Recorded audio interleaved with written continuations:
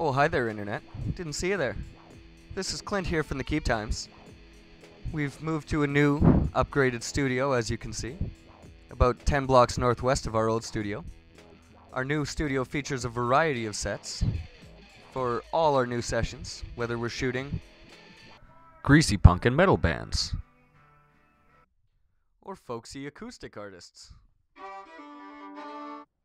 intimate fireside ballads, even some sun soaked pop tunes. Maybe when it's warmer out, we'll be pumping out hot, fresh content every week for your eyes and ears to feast upon. and uh, otters. But otters actually have a great sound on their own. And obviously the classics, The Rock and Stone Cold Steve Austin. Hey, Internet, it's me.